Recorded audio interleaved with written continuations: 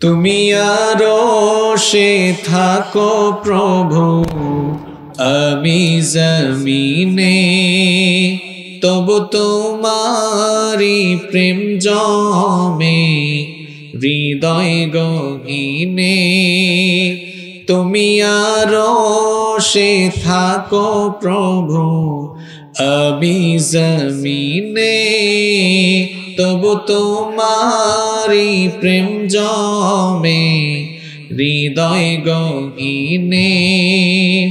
আমি তোমারি গোলাম গো, অন্য কারণা আমি তোমারি গোলাম গো, অন্য কারণা আলিমুল গাইব তুমি মালিক রব্বানা, আল্লাহ আল্লাহ আল্লাহ আল্লাহ। বলতে পারবেন না? বলেন, আল্লাহ আল্লাহ আল্লাহ আল্লাহ। আল্লাহ আল্লাহ আল্লাহ। আল্লাহ। তোমারি রহম ছাড়া বাঁচা বড় প্রতিদিনে, প্রতিক্ষণে জড়িয়ে রাখ গো আমার। তোমারি রহম ছাড়া বাঁচা বড় দায় প্রতিদিনে, প্রতিক্ষণে জড়িয়ে রাখ গো আমায়। শত শত ভুল মাফ করে দাও। শত শত ভুল মাফ করে দাও, জানা কিয় জানা? আমি তোমারি গোলাম গো, অন্য কারণা আলিমুল গাইব তুমি মালিক রব্বানা। আল্লাহ আল্লাহ আল্লাহ আল্লাহ। আল্লাহ আল্লাহ আল্লাহ কঠিন বিচারের দিনে থেকো আমার পাশে। পাপের ভারে নুয়ে গেছি। মন তাই কে দেব রে কঠিন বিচারের দিনে থেকো আমার পাশে। পাপের ভারে নয়ে গেছি। মন তাই কে দে মরে। জন্নতি ফুল দিও গো আমায়। জন্নতি ফুল দিও গো আমায়। আগুনে ফেলে দিও না। আমি তোমারি গোলাম গো। কারণা আলিমুল গাইব তুমি মালিক রব্বানা।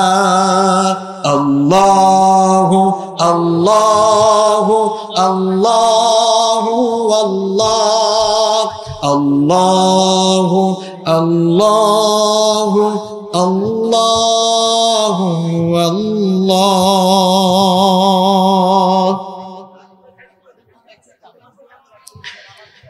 বাংলাদেশের অত্যন্ত সুপরিচিত ঐতিহ্যবাহী গোপালগঞ্জ জেলার মকসুদপুর উপজেলার অন্তর্গত গোল্ডেন টাচ পাবলিকেশনসের উদ্যোগে আয়োজিত তিন দিন ব্যাপী পঞ্চম বার্ষিক ওয়াজ মাহফিলের আজকের প্রথম দিবসের প্রথম অধিবেশনের মহতারাম শ্রদ্ধাভাজন সভাপতি। মঞ্চে উপস্থিত সম্মানিত শ্রদ্ধাভাজন ওলামাই কেরাম, উপস্থিত বিভিন্ন রাজনৈতিক দলের সম্মানিত নেতৃবৃন্দ, সামাজিক নেতৃবৃন্দ, উপস্থিত বিভিন্ন মসজিদের সম্মানিত ইমাম এবং খতিব সাহেব বৃন্দ আমার সামনে বসা অত্র এলাকার পার্শ্ববর্তী এবং দূরদূরান্ত এলাকা থেকে আগত আল্লাহর দিন প্রেমী, কোরআন প্রেমী, সর্বস্তরের তাওহেদি জনতা যুগে যুগে আল্লাহর জমিনে আল্লাহর দিন প্রতিষ্ঠার জন্য যারা সবচাইতে বেশি অগ্রণী ভূমিকা পালন করেছেন আমার কলিজার টুকরা প্রিয় যুবক এবং তরুণ ভাইয়েরা, স্কুল, কলেজ, ইউনিভার্সিটি এবং বিভিন্ন মাদ্রাসা পড়ুয়া আমার প্রাণ প্রিয় মেধাবী ছাত্র ভাইয়েরা মহিলা প্যান্ডেল থেকে এবং ঘরে বসে যারা শুনছেন সম্মানিতা মা এবং বোনেরা উপস্থিত মিডিয়ার প্রিয় কর্মী ভাইয়েরা প্রাণ প্রিয় মুকসুদপুর তথা গোপালগঞ্জ গোপালগঞ্জবাসী আপনারা সবাই কেমন আছেন? সবাই ভালো আছেন? আলহামদুলিল্লাহ আমিও আল্লাহর রহমতে ভালো আছি। আমাদের সকলকে সুস্থতার সাথে বাঁচিয়ে রেখে কোরআনের এই বরকতময় মাহফিলে আসার সুযোগ এবং তৌফিক যিনি দিয়েছেন, তিনি কে? সেই মহান রবের জন্য হৃদয়ের সবটুকু ভালোবাসা, আবেগ অনুভূতিকে উজাড় করে দিয়ে খুশি মনে প্রাণবন্ত আওয়াজে উচ্চ কণ্ঠে কালেমত শুকর আদায় করে আমরা সকলেই পড়ছি আলহামদুলিল্লাহ। সম্মানিত সুধী মণ্ডলী, এই মাহফিলের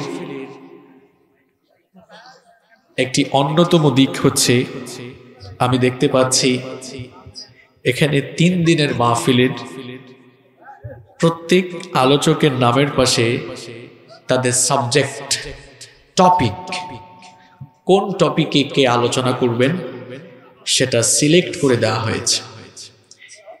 এটি একটি আদর্শ মাহফিলের অন্যতম বৈশিষ্ট্য। বাংলাদেশের বিভিন্ন জায়গায় মাহফিলের আয়োজন হয়। আমরা অনেক সময়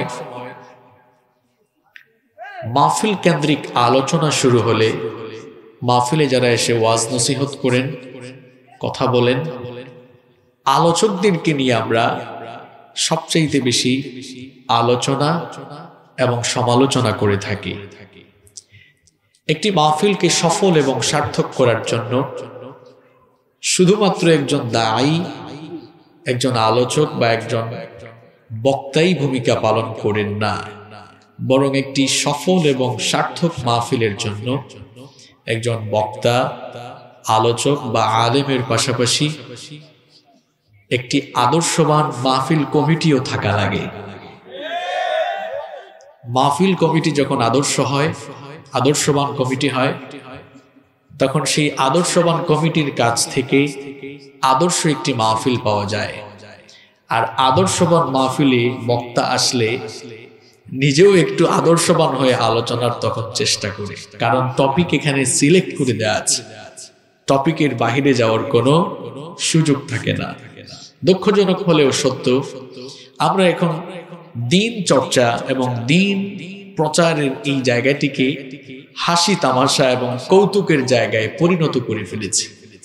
এটার জন্য শুধুমাত্র বক্তারাই দায়ী নয়, বরং কিছু কিছু ক্ষেত্রে ওয়াজ কমিটি যারা মাহফিলের আয়োজন করে থাকেন, তাদেরও কিছু দোষ ত্রুটি আছে। দেখা যাচ্ছে এখন মাহফিলগুলো কম্পিটিশনের জায়গায় পরিণত হয়েছে। অমুক এলাকায় আটাইশ ইঞ্চি বক্তা এনেছে। আমাদের এলাকার মাহফিলকে তো আরও আকর্ষণীয় করা দরকার। কয়, ওই এলাকায় যেহেতু আটাইশ ইঞ্চি নিয়ে এসেছে, চল, আমরা দুই ইঞ্চি কমায়া ছাব্বিশ ইঞ্চি নিয়ে আসি। ছাব্বিশ ইঞ্চি আটাইশ ইঞ্চি বক্তারা কিন্তু নিজেরা এসে জোর করে দাওয়াত চায় না। ওয়াজ কমিটিরাই তাদেরকে দাওয়াত করে নিয়ে আসে। ফেসবুকটা হয়ে গেছে এখন গিবত গোপ গিবত বুক। এখন সবচেয়ে বেশি গিবতের চর্চা হয় ফেসবুকে। আর সবচেয়ে দুঃখজনক কি জানেন? আমরা অনেক সময় কোনো ঘটনার আগাগুড়া না জেনে যা শুনি, তাই আমরা ফেসবুকে লেখালেখি শুরু করি। এমন মানুষের সংখ্যা বাংলাদেশে খুবই কম। তাই না? একজন একটা বলেছে, সাথে সাথে প্রচার করে দিলাম। এই যে মিডিয়ার বাইরে এখানে এসেছেন, ওনারা প্রত্যেকেই কিন্তু দায়ী ইলাল্লাহর ভূমিকা পালন করছেন। আমরা মাঠে ময়দানে কোরআন, হাদিস, পড়াশোনা করে, গবেষণা করে কথা বলছি।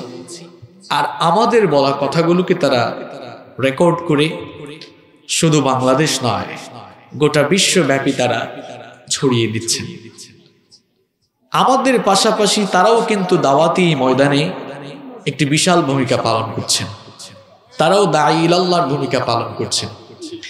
কিন্তু দুঃখজনক হলেও সত্য, কিছু কিছু মিডিয়ার ভাইয়েরা আছেন, তাদের চ্যানেলের ভিউ বাড়ানোর জন্য তাদের সাবস্ক্রাইবার বৃদ্ধি করার জন্য, তাদের চ্যানেলটাকে কাঙ্ক্ষিত একটি মানে নিয়ে যাওয়ার জন্য।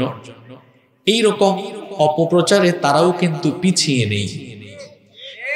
কোনো একটা জিনিস তারা শুনেছেন কিংবা দেখেছেন কোন জায়গায় একটা ঘটনা ঘটেছে ভিডিও ধারণ করতে পারলেই এটা এডিট ছাড়া অনেক সময় মাস্টার আপলোড দিয়ে দেয়। যে আগে আপলোড করবে তার ভিউ বেশি বাড়বে। আমার কোনো ভাই যদি কষ্ট পেয়ে থাকেন আমি দুঃখ প্রকাশ করছি। এটা আপনাদেরকে কষ্ট দেওয়ার উদ্দেশ্যে বলা নয়। এটা ভালোবাসার জায়গা থেকে, আন্তরিকতার জায়গা থেকে আপনাদেরকে পরামর্শ সুলভ কিছু কথা বলা। আপনারা এই ময়দানে আমাদের সহযোগী। আমাদের যদি কোথাও স্লিপ অফ টাং হয়ে যায়, আপনি যদি দেখেন যে এটা হুজুর মনে হয় বেখেয়ালে বলে ফেলেছেন, আপনি সহযোগী ভাই হিসাবে আপনার উচিত হচ্ছে এডিটিং এর সময় সেটাকে কাট করে দেওয়া। একটি ঘটনা ঘটেছে, যদি আপনি ভিডিও ধারণ করে থাকেন, ততক্ষণ পর্যন্ত সেটা প্রচার করবেন না। যতক্ষণ না এই ঘটনার সত্যতা যাচাই না হয়। কারণ আল্লাহ তাআলা কোরআনুল কারিমে সূরাতুল হুজুরাতে আমাদেরকে সতর্ক করেছেন।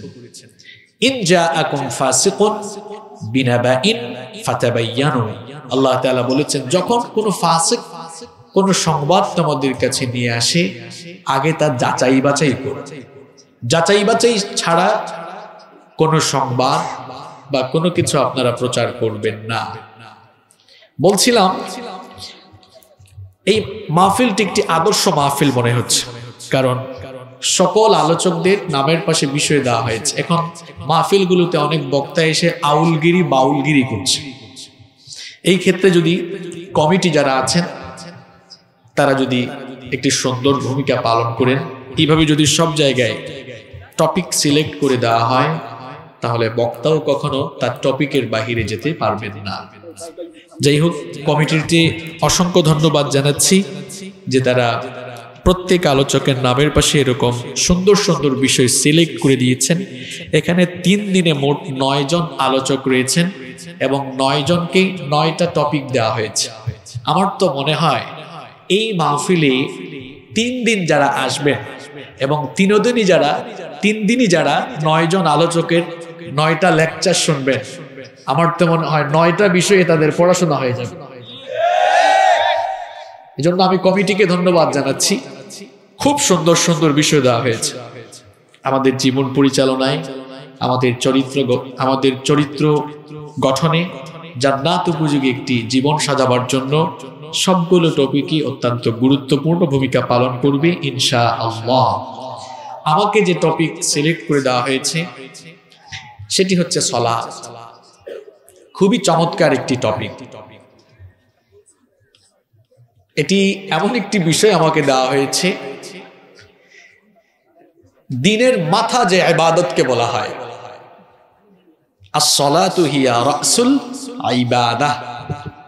সলাত হচ্ছে ইবাদতের মাথা, মুকুট একেবারে। ইসলামকে যে মৌলিক পাঁচটি পিলারের উপর স্থাপন করা হয়েছে, তার মধ্যে সর্বাপেক্ষা গুরুত্বপূর্ণ পিলার হচ্ছে এই সলাপ এই বিষয়টি আমাকে দেওয়া হয়েছে। ইনশাআল্লাহ, এই বিষয়ের আলোকে বাস্তবমুখী এবং আমাদের চরিত্র যেন গঠন হয়।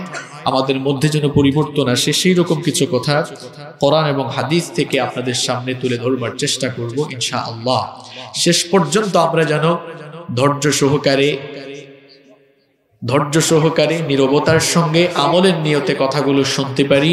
আল্লাহ তালা আমাদের সবাইকে সে তৌফিক দান করেন, আমরা সবাই বলি আমি সম্মানিত সুধী মন্ডল এই পৃথিবীতে আল্লাহ তালা আমাদেরকে নিরর্থক, এমনি এমনি সৃষ্টি করেননি। অযথাই আমাদেরকে দুনিয়াতে পাঠানো হয়নি। আমাদেরকে সৃষ্টির পেছনে আল্লাহ তালার একটি সুনির্দিষ্ট লক্ষ্য এবং উদ্দেশ্য রয়েছে। কি কারণে রব্বুল আলমিন আমাকে আপনাকে দুনিয়াতে পাঠালেন? কেন আমাদেরকে পয়দা করা হলো? রব্বুল আলামিন কেন আমাদেরকে এত সুন্দর করে পয়দা করে এই দুনিয়াতে পাঠালেন? কোরআনুল করিমের একান্ন নম্বর সোরা সুরাতের ছাপ্পান্ন নম্বর আয়তের মাধ্যমে আল্লাহ তাআলা সেই কথা আমাদেরকে জানিয়ে খালাকাতুল জিন্না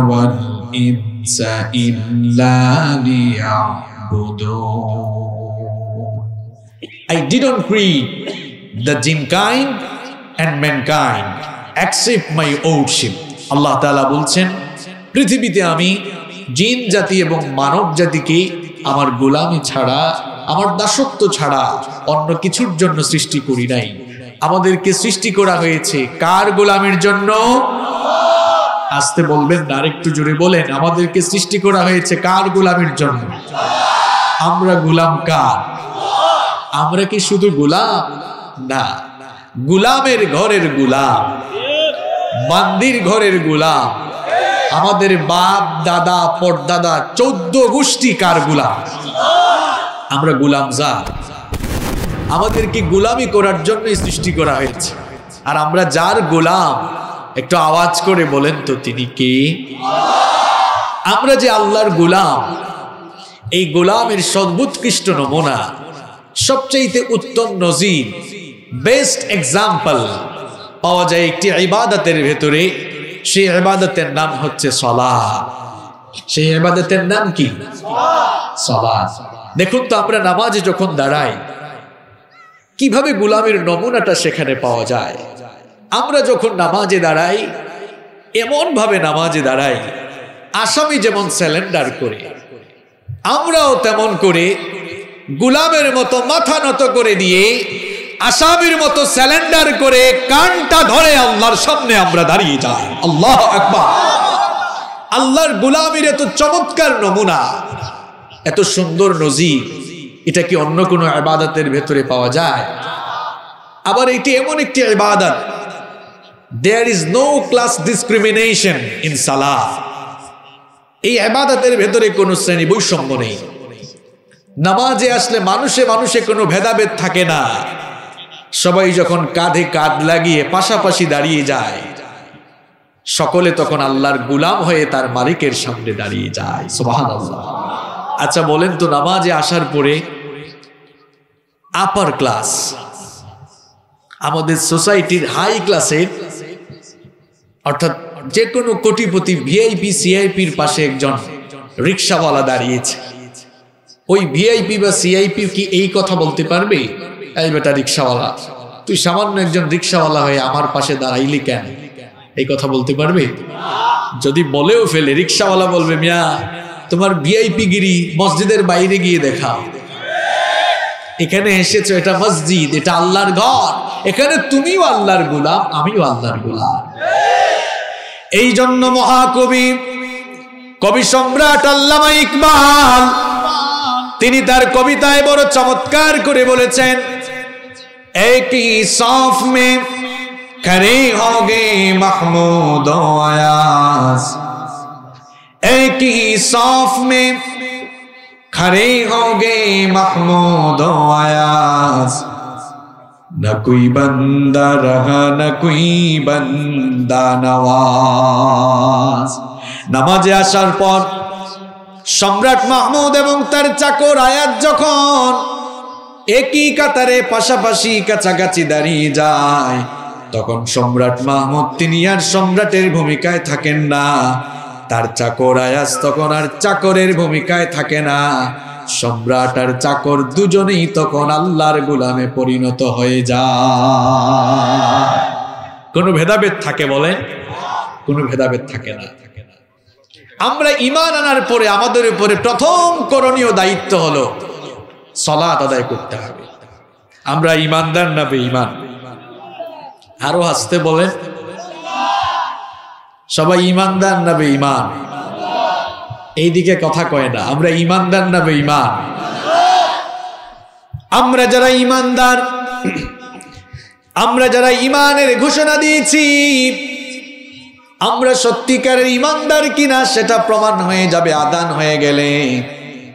কারণ নবীজি বলেছেন, বাইনাল আব্দি ওয়াল কুফরি তারকুসসালা আল্লাহর বান্দা আর কাফেরের মধ্যে পার্থক্যই হলো নামাজ ছেড়ে দেওয়া।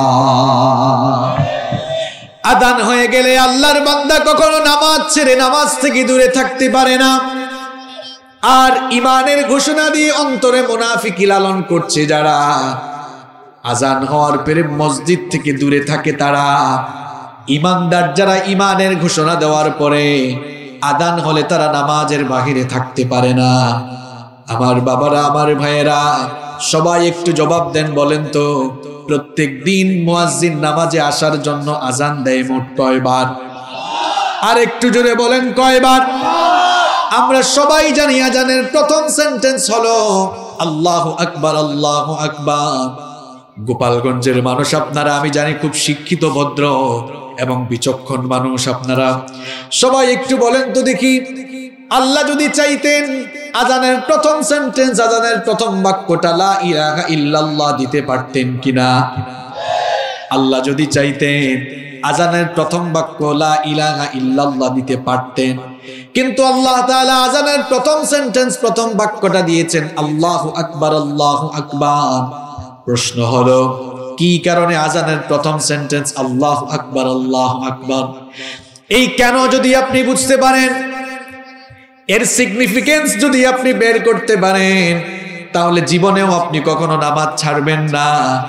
এটা বুঝার জন্য, এর সিগনিফিকেন্স জানার জন্য এর অর্থের দিকে আপনাকে খেয়াল করতে হবে। সবাই এবার বলেন তো দেখি। আল্লাহ আকবার আল্লাহ আকবার অর্থ আল্লাহ সবচাইতে ছোট নাকি আল্লাহ সবচাইতে বড়? আল্লাহ আকবার আল্লাহ আকবার অর্থ হচ্ছে আল্লাহ সবচাইতে বড়। তার মানে হচ্ছে মুয়াদ্দিন যে আজান দেয়, আল্লাহর হুকুমটাও বড় না ছোট?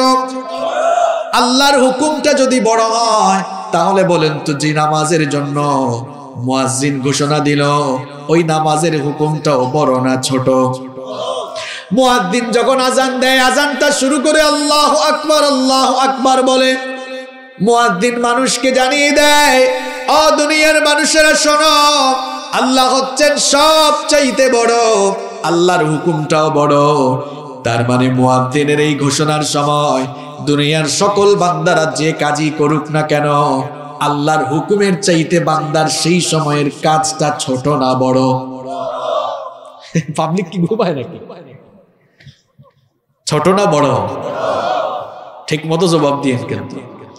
মুয়াদ্দিন যখন আজান দেয় আজানের প্রথম বাক্যের মাধ্যমে সে জানিয়ে দেয় আল্লাহ আকবার আল্লাহ আকবার।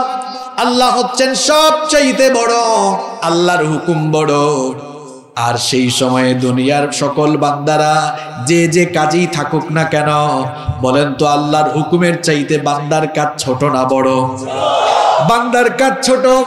তাহলে মুয়াদ্দিন যখন দিনের শুরুতে ফজরের আদান দেয়, আপনি তখন ঘুমিয়ে থাকেন। বলেন তো দেখি আদানের চাইতে, নামাজের চাইতে আপনার ঘুমটা ছোট না বড়? আপনার ঘুমটা হলো ছোট, আল্লাহর হুকুমটা হলো বড়।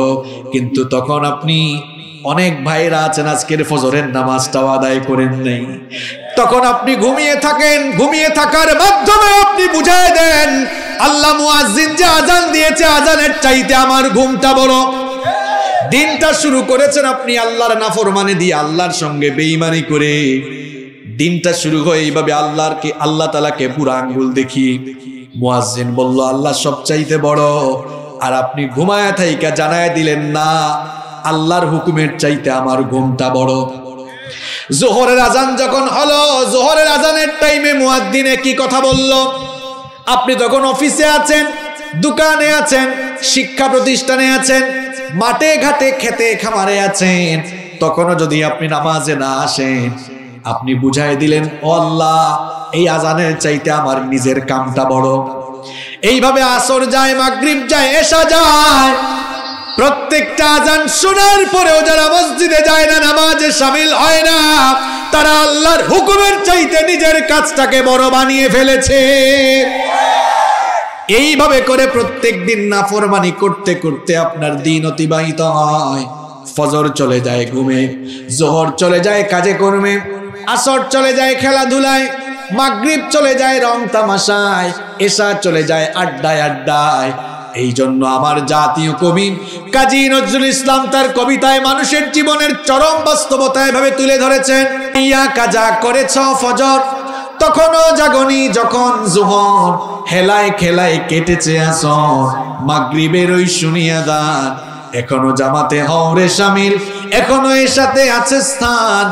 বাজিছে দামামা বাদ্রে আমামা শির উঁচু করি মুসলমান। দাওয়াত এসেছে নয়া জামানার ভাঙা কেল্লা উড়ে নিশান। আল্লাহ আকবার! মানুষের জীবনের চরম বাস্তবতা তিনি তার কবিতায় এইরকম করে তুলে ধরেছেন। আরে আমার দেশের অনেক নামদারি মুসলমানদের বাস্তব জীবন হলো এমন। ফজরের আজান শোনার পরে মসজিদ থেকে তার বাড়ি হলো মাত্র একশো হাত দূরে। কিন্তু ঘুম থেকে উঠে সে মসজিদে যায় না। কিন্তু অনেক মানুষ ইমানদার নামের মুখোশধারী এমন কিছু ইমানদার আছে। দেখা যায়, ফজরের নামাজে না গেলেও এরা জানাজান নামাজে আবার শরিক হয়। বলেন তো দেখি আমার দেশের চিত্র হলো এমন। বলেন তো দেখি আমার দেশে ফজরের নামাজে মানুষ বেশি নাকি জানাজান নামাজে মানুষ বেশি? ঢাকা শহরে থাকে বাসা থেকে পঞ্চাশ হাত দূরে হলো মসজিদ। পঞ্চাশ হাত দূরে মসজিদে আজান শোনার পর উঠে গেল না। এই গোপালগঞ্জের মুকসেদপুরে কোনো একজন মানুষ মারা গেল। এই খবর যখন তার কানে গেল, ঢাকা থেকে গাড়ি চালায়া মাওয়াঘাট, পাটুরিয়া ঘাটে এত ভিড়, এত ব্যস্ততা, এত সময় নষ্ট হয়। দেখা যায় ঢাকা থেকে এখানে ছয়, সাত, আট, নয় ঘণ্টা জ্যাম লাগল অনেক সময়। জ্যাম ঠেলায়া জানা যায় হাজির হয়। বুঝলাম না এই লোকটার অবস্থা। সে তার ঘর থেকে পঞ্চাশ ষাট দূরে মসজিদে গেল না, ফজরের নামাজে গেল না। কিন্তু জানাজান নামাজে মুকসুদপুরের কোনো এক মাইয়িতের জানাজান নামাজে হাজির হওয়ার জন্য আট, নয় ঘণ্টা গাড়ি চালায়া চলে আসলো। মতলবটা তার কোন জায়গায় বোঝা লাগবে? ফজরের নামাজের আগে বক্তব্য দেওয়ার সুযোগ নাই, কিন্তু জানাজান নামাজের আগে বক্তব্য দেওয়ার সুযোগ আছে। লে বাটপাট, তুই ফজরের নামাজে গেলি না কেন? তুই ফজরের নামাজে গেলি না কেন? তোর ঘর থেকে পঞ্চাশ হাত দূরে তুই ফজরের নামাজে গেলি না। আর তোর দরদ এত উঠ, এত উতলাইয়া উঠল যে ঢাকা থেকে এত ঘণ্টা জার্নি করে মুকসুদপুরে চলে আসে, বলেন। এই রকম কিছু বাটপার কি আছে নাকি? এদের সংখ্যা কম না বেশি? সবচাইতে বড় কথা হলো, আমরা নিজেদের জীবনকে কেমনে ধোকায় ফেলে রেখেছি শুনেন। সকালবেলা স্কুলে যেতে হবে, কলেজে যেতে হবে, বিশ্ববিদ্যালয়ে যেতে হবে, এই জন্য দেখা যায় আটটার সময় ফোনের মধ্যে অ্যালার্ম লাগিয়েছে। এখন যারা স্মার্টফোন ব্যবহার করেন, প্রত্যেকের স্মার্টফোনের মধ্যে অ্যালার্ম আছে না নাই? দোকান খুলতে হবে, গিয়ে বাজারে ঠিক নয়টায়। আটটার সময় ফোনে অ্যালার্ম দিয়েছে। আবার যারা চাকরি করে গার্মেন্টসে যাবে, দেখা যায় সাতটা, আটটার আগে অফিসে ঢুকতে হবে। এই জন্য ভোর সাড়ে ছয়টা, সাতটার সময় অ্যালার্ম লাগিয়েছে। যারা বিবাহিত, রাতের বেলা ঘুমানোর সময় বিবিকে বলে, বিবি সকাল আটটায় অ্যালার্ম লাগিয়েছি, যদি অ্যালার্মটা না শুনি, তুমি আমাকে ডেকে দিও। কারণ ঠিক সময়ে অফিসে না ঢুকতে পারলে বসের কাছে জবাবদিহি করতে হবে, চাকরিও চলে যেতে পারে। বুঝলাম না ব্যাপারটা? অফিসের বসের কাছে জবাবদিহি করা লাগবে, চাকরি চলে যেতে পারে। অথবা সময় মতো দোকান খুলতে না পারলে ব্যবসায় লস হয়ে যাবে। এই কারণে যদি আপনি এই কারণে যদি আপনি সকাল আটটায়, সকাল নয়টায় এলাম লাগাইয়া ঘুম থেকে উঠতে পারেন, আপনার বিবেককে প্রশ্ন করুন, কোন শয়তান আপনাকে ধুকায় ফেলে রাখল? যদি আপনি আটটায়, নয়টায় এলাম দিয়ে ঘুম থেকে উঠতে পারেন, কেন আপনি ভোর সাড়ে পাঁচটায় এলাম দিয়ে ঘুম থেকে উঠে ফজরের নামাজে যেতে পারেন না? কোন শয়তানের সঙ্গে আপনার বসবাস? নিজের বিবেককে আপনি প্রশ্ন করুন। ফজরের নামাজটা শুরু হয়। আপনি নামাজে যান না। দিনের শুরুতে আল্লাহ একটা নামাজ দিয়েছেন। আর আল্লাহ তালা নামাজের শিডিউলগুলো এমন ভাবে তৈরি করলেন। দিনের শুরুতেও নামাজ আছে। আবার যখন আমরা রাতের বেলা ঘুমাতে যাই, রাতে ঘুমানোর আগেও একটা নামাজ আছে না নাই? তার মানে আল্লাহ নামাজের শিডিউলটা এত চমৎকার করে দিলেন। বান্দা যেন ঘুম থেকে উঠেই আল্লাহর দরবারে সাজদা দেয়। বান্দা যেন ঘুম থেকে উঠে আল্লাহর গুলামি করে, আল্লাহর গুলামি করে যেন বান্দা তার দিন শুরু করে। আবার আল্লাহর গুলামি করেই যেন বান্দা ঘুমোতে যায়। এই জন্য নামাজের এই চমৎকার পাঁচ ওয়াক্তের শিডিউলটা সুন্দর করে দিলেন কি? কিন্তু দিনের শুরুতে আমাদের অনেক ভাই বোনেরা আছেন, ফজরের নামাজটা আদায় করতে পারেন না। ফজরের নামাজটা ছেড়ে দিয়ে তারা দিন শুরু করেন। আমার বাবারা, আমার মায়েরা, সবাই একটু কনসেন্ট্রেট হয়ে যান, আমার দিকে তাকান। দেখেন তো, এই দিকে, ওই দিকে অনেক কিছু হয়েছে। আমি কথা বলা শুরু করার পর একবারেও কি ডান দিক, বাম দিকে তাকিয়েছি নাকি? তা আপনারাও তাকাইয়েন না, আমি কিন্তু আপনাদের দিকে তাকাচ্ছি। সবাই এবার বলেন তো দেখি, নামাজে গেলে নামাজ আদায় করলে সবচাইতে খুশি হন কে? আর নামাজ ছেড়ে দিলে সবচাইতে খুশি হয়ে যে তার নামটা কি? আর একটু জোরে বলেন, তার নামটা কি? নামাজ আদায় করলে গুলামি হয় কান আর নামাজ ছেড়ে দিলে গুলামি হয় কান তাহলে ফজরের নামাজ বাদ দিয়ে যারা দিন শুরু করে, আপনারাই জবাব দেন, সে কি আল্লাহর গুলামি করে নাকি শয়তানের গুলামি করে দিনটা শুরু করে? আরেকটু জোরে বলেন।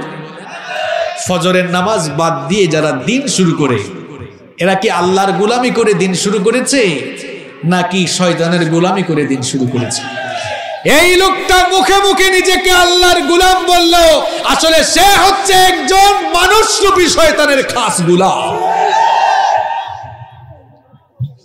আমার বুঝে আসে না কি করে একজন মুসলমান নামাজ ছেড়ে দেয়। একজন খাঁটি মুসলমান কখনো নামাজ ছাড়তে পারে না। কারণ নামাজ হচ্ছে এমন একটি ইবাদত। আমরা সবাই তো দুনিয়া থেকে চলে যাব, কেউ আমরা দুনিয়ায় থাকব না। দুনিয়া থেকে চলে যাওয়ার পর হাসরের মাঠে যখন আমরা সবাই সমবেত হব, সবাই বলেন তো দেখি হাসরের মাঠে আল্লাহর সামনে যখন আমরা দাঁড়াবো, সকলকেই, সকলের আল্লাহর সামনে যখন সবাই দাঁড়াবো তখন সকলের বিচার করবেন সেদিন কি? এই ভাই, এদিকে তাকান এদিকে তাকান আপনারা। এখানে কি সমস্যা? আমি ডানে ভাবে তাকাচ্ছি বলেন। কি দেখা যায় না? ক্যামেরা সেট করেছে এই দিকে আপনারা বসেছেন এই দিকে দেখা যাবে না কেন? এই যে মিডিয়ার ভাইদের প্রতি আপনারা যে রুরু আচরণ করছেন আপনারা সুক্রিয়া করেন। আপনাদের বিবি বউ বাচ্চা মেয়ে বোন এরা এখন দিনদার হচ্ছে এদের অবদানের কারণে। এখানে এইটাও ঠিক দেখছেন কোন দিকে যাব আমি? মানে এইটাও ঠিক আবার এদের সাথে রুরু আচরণ করার বেলায় ঠিক। একটা আলোচনাকে সুন্দর করার জন্য?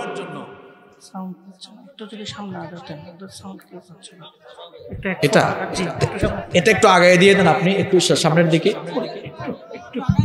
আচ্ছা অথবা এটা আগায় দেন আগে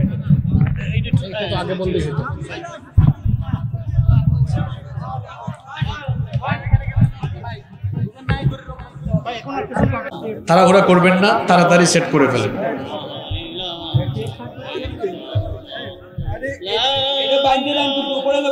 পড়ে যাবে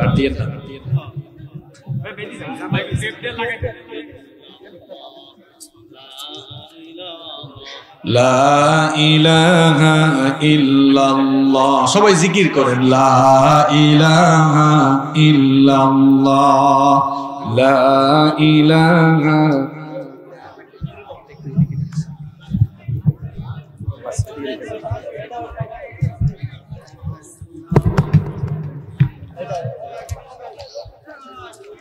লা ইলাহা ইল্লাল্লাহ لا إله إلا الله لا إله إلا الله بس بس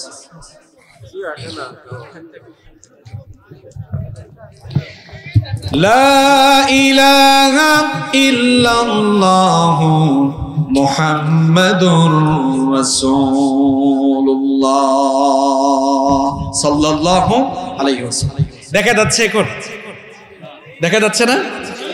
ঠিক আছে, মিডিয়ার ভাইরাও বসে যান, আপনারাও শুনেন। খালি তো রেকর্ড করলে শুনবে না, হবে না। আপনাদের ওয়াচ শোনার দরকার আছে না নাই? বসে যান সবাই। এখন ঠিকঠাক আছে না সব? এখন তো আপনাদের সাউন্ডও যাচ্ছে। যাচ্ছে না সবার কাছে? ওকে আমি বলছিলাম, একজন মুসলমান কখনো সত্যিকারের মুসলমান হলে নামাজ ছাড়তে পারে? একজন মুসলমান কখনোই নামাজ ছাড়তে পারে না। কারণ নামাজ হচ্ছে এমন একটি ইবাদত। কামতের দিন রব্বুল আলামিন সর্বপ্রথম বান্দাদের কাছ থেকে এই নামাজের ব্যাপারে হিসেব চাইবেন। আমার বাবারা, আমার ভাইরা এখন যে দুনিয়াতে আমরা বসবাস করছি, এই দুনিয়ায় কি আমরা চিরকাল থাকব নাকি? কেউ আমরা দুনিয়ায় চিরকাল থাকব না। আমাদের পূর্বপুরুষ যারা ছিলেন, কেউ দুনিয়ায় থাকতে পারেন না আমরাও কিন্তু দুনিয়ায় কেউ থাকব না। এখন দু হাজার বাইশ সাল, দুনিয়াতে উনিশশো বাইশ সাল কিন্তু চলে গিয়েছে। উনিশশো বাইশ সালে যারা দুনিয়াতে ছিল, একশো বছরের ব্যবধানে আজ দু হাজার বাইশ সাল কেউ কি দুনিয়ায় আছে নাকি? কেমন যদি না হয় কেমন যদি না হয়, তাহলে দুনিয়ায় হয়তো দুই হাজার একশো বাইশ সাল দুই হাজার একশো বাইশ সালেও আসবে। এই প্যান্ডেলের নিচে বসে দু হাজার বাইশ সালে আমরা যারা আলোচনা শুনতেছি, চক্ষু বন্ধ করে চিন্তা করে দেখুন দুই হাজার একশো বাইশ সালে আমরা কেউ কিন্তু দুনিয়ায় নাই, থাকব নাকি? কেউ আমরা দুনিয়াতে থাকব না, সবাই আমরা এই দুনিয়া ছেড়ে চলে যাব। মৃত্যুর সঙ্গে আমাদের সকলকেই মুলাকাত করা লাগবে। মৃত্যুর সাথে আমাদের সকলকেই সাক্ষাৎ করা লাগবে। এই মৌতের স্বাদ আমাদের সকলকে আস্বাদন করা লাগবে। মৌতের মাধ্যমে আমরা দুনিয়া থেকে চলে যাব। বারজাখি জীবনে আমরা প্রবেশ করব। এরপরে যখন আল্লাহর, আল্লাহ তাআলার আদেশে যখন সাইদিনা ইসরাফিল আলাইহিস সালাম সিংহায় ফুৎকার দিবে, তার সিংহার ফুৎকারে এই মহাবিশ্বের সবকিছু লন্ড ভণ্ড চূর্ণ বিচূর্ণ বেসাকার হয়ে গিয়ে কেয়ামতের ঘটনা ঘটবে। কেয়ামতের ঘটনা যখন ঘটে যাবে, তখন আল্লাহর হুকুমে কবর থেকে মানুষগুলো উঠে উঠে হাসরের মাঠে গিয়ে জড়ো হবে। হাসরের মাঠে আমরা কেয়ামতের দিন সবাই দাঁড়াবো, সবাই আমরা জড়ো হবে। ব্যাপারে কি কোনো সন্দেহ আছে নাকি বলেন? কোনো সন্দেহ নাই। সবাই আমরা সেদিন আল্লাহর সামনে দাঁড়াবো। আল্লাহ তালা বিচার শুরু করবে। আমার বাবারা, আমার কলেজার টুকরা যুবক ভাইয়েরা, কি করে আপনারা নামাজ ছেড়ে দেন? হাসরের মাঠে যখন আমরা সবাই দাঁড়াবো, আল্লাহ তালা যখন আমাদের কাছ থেকে বিচার শুরু করবেন, আল্লাহ তালা বিচারটা শুরু করবেন যে ইবাদতের ব্যাপারে প্রশ্ন করে, সেই ইবাদতের নামটা হচ্ছে সালা কীভাবে আপনারা নামাজ ছেড়ে দেন আমার বুঝে আসে না। বুখারি মুসলিম, তিরমিদি এবং নাসাইর ভেতরে এই হাদিসটি বর্ণিত হয়েছে। সৈয়দুল মুহাদ্দিসিন আবু হুরায়রা রাদিয়াল্লাহু আনহু হাদিসটি বর্ণনা করেছেন তিনি বলেছেন, আমি নবী করিম সাল্লাল্লাহু আলাইহি ওয়াসাল্লামকে বলতে শুনেছি, ইন্না আউওয়ালা মা ইউহাসাবু বিহিল আবদু ইয়াউমাল কিয়ামাতি মিন আমালিহি সালাতিহি নবীজি বলেছেন, কামতের দিন আল্লাহ তাআলা বান্দার কাছ থেকে সর্বপ্রথম যেই ব্যাপারে আল্লাহ বান্দাকে জিজ্ঞেস করবেন, সবার আগে আল্লাহ তাআলা বান্দার কাছ থেকে যে ব্যাপারে হিসেব চাইবেন, সেটা হচ্ছে বান্দারে নামাজ নামাজ নামাজ ঠিক মতো আদায় করেছিস কিনা? প্রথম প্রশ্নটাই হবে নামাজের ব্যাপারে। এখন প্রথম প্রশ্নেই যদি আপনি আটকে যান, প্রথম প্রশ্নের উত্তর দিতে গিয়ে যদি আপনি ধরা খেয়ে যান, আপনারাই বলেন তো দেখি পরবর্তী লেভেলটা সহজ হবে নাকি কঠিন হবে? এই জন্য নবীজি বলেছেন, ফাইন সলুহাত ফাকাদ আফলাহা ওয়া আনজাহ। এই নামাজের হিসেবটা যা ঠিকঠাক হবে, ওই লোকটা সফল হয়ে আল্লাহর জান্নাতে ঢুকে যাবে। ওয়া ইন ফাসাদাত ফাকাদ খাবা ওয়া খাসির আর এই নামাজের হিসেবে যার গন্ডগোল থাকবে, ক্ষতিগ্রস্ত হয়ে আল্লাহর জাহান্নামে তারা দাখিল হয়ে যাবে। এই জন্য কখনো নামাজ ছেড়ে দিবেন না। আমার বাবারা, আমার ভাইয়েরা পাঁচ ওয়াক্তের নামাজ ছেড়ে দেয় তারা। কেয়ামতের দিন সবচাইতে বেজ্জত হবে তারা। হাসরের মাঠে কেয়ামতের দিনে বেনামাজিগুলো কেমন অবস্থার সম্মুখীন হবে? কি মারাত্মক অসম্মান আর বেজ্জতির শিকার তারা হবে? এবার আল্লাহর কোরআন থেকে আপনারা শুনুন। হাসরের মাঠে যখন আমরা সবাই আল্লাহর সামনে দাঁড়াবো, আল্লাহ তালা বলবেন, সবাই আমাকে সাজদা দাও। আল্লাহর অর্ডার শুনে দুনিয়ায় যারা নামাজি ছিল, সঙ্গে সঙ্গে তারা মাথাটা নত করে দিয়ে আল্লাহর কুদরতি চরণের সাজদায় মাথা নত করে দিবে। কিন্তু আজান হলে যারা নামাজে যেত না, এই বেনামাজিগুলো সাজদা দিতে চাইবে, কিন্তু তাদের পিঠটা সেদিন কাঠের মতো শক্ত হয়ে যাবে। চাইলেও তারা সাজদা দিতে পারবে না। রব্বুল আলামিন কোরআনুল করিমের আটষট্টি নম্বর সুরা সুরাতুল কালামের বিয়াল্লিশ নম্বর আয়াত থেকে সেই কথা বলছেন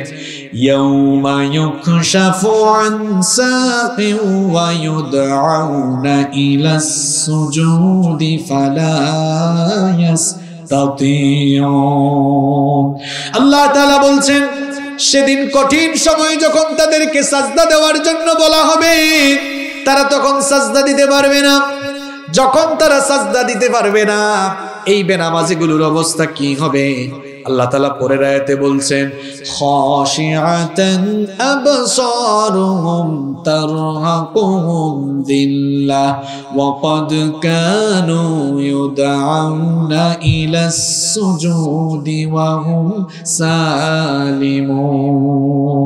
আল্লাহ তাআলা বলছেন, যখন তারা সাজদা দিতে পারবে না, তখন লজ্জায় অপমানে তাদের দৃষ্টিনত হয়ে যাবে। তাদের চেহারায় কলঙ্কের কালেমা লেপন হয়ে যাবে। এর কারণ সম্পর্কে আল্লাহ তালা বলছেন, ওয়াকাদ কানু ইউদআউনা ইলাস সুজুদি ওয়া হুম সালিমুন। এর কারণ হচ্ছে যখন এদেরকে দুনিয়ায় নামাজে আসার জন্য বলা হতো, এরা নামাজে আসতো না। এই জন্য এই বেনামাজিগুলোর পিঠ কেয়ামতের দিন কাঠের মতো শক্ত হয়ে যাবে। নাউদুবিল্লাহ আমার বাবারা, আমার ভাইয়েরা, এরপরেও কি আপনারা আজান হয়ে গেলে নামাজ ছেড়ে দিবেন? নামাজ যারা ছেড়ে দেয়, কেন ছেড়ে দেয় আমার বুঝে আসে না। আল্লাহর জাহান নামের ভয়টা কি একটু দিলের ভেতরে নাই?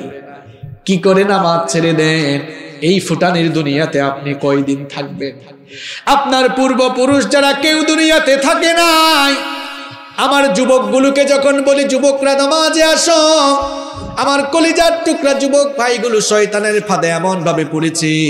তারা কই হুজুর, এখনও কলেজে পড়ি, বিশ্ববিদ্যালয়ে পড়ি। এখনও বয়স বিশ, বাইশ, পঁচিশ বছর। এই ইয়াং বয়সে আমরা কেন নামাজে আসব? আমরা একটু বুড়া হয়ে যাই, চুল দাড়ি পাকুক এরপরে আমরা নামাজে আসব। এই রকম কথা অনেক যুবক বলে আছে না নাই? আমার যুবক ভাইদেরকে বলি, তুমি যে বুড়া হবা, এই গ্যারেন্টি তোমাকে কে দিল? তুমি কি দেখো না? তোমার মতো কত যুবক রাস্তাঘাটে অ্যাক্সিডেন্ট করে মারা যায়, কত যুবক রাতের বেলা ঘরে ঘুমায় সকাল বেলা তার লাশ বের হয় এইরকম আছে না নাই? তুমি বুড়া হবার চুল দাড়ি পাকবে, এটা হলো শয়তানের ধোকা। কারণ তোমার জেনে রাখা দরকার, দুনিয়াতে আসার জন্য সিরিয়াল আছে, কিন্তু দুনিয়া থেকে যাওয়ার জন্য কোনো সিরিয়াল নাই। এই দুনিয়ায় আসার বেলায় খুব চমৎকার সিরিয়াল মেনটেন হয়, কিন্তু দুনিয়া থেকে যাওয়ার সময় কোনো সিরিয়াল মেনটেন হয় না। দুনিয়াতে আসার সময় দেখা যায় প্রথমে আসে দাদা, এরপরে বাবা, তারপরে ছেলে, এরপরে দেখা যায় দাদার ঘরে নাতি হয়। এই রকম দুনিয়াতে আসার চমৎকার সিরিয়াল আছে কিন্তু দুনিয়া থেকে যাওয়ার কোনো সিরিয়াল নাই। মাঝে মাঝে এমন কোন দৃশ্য সমাজে দেখা যায়, ছেলের লাশ বাবা কবরে নামায়, অথবা নাতির লাশ দাদা কবরে নামায়।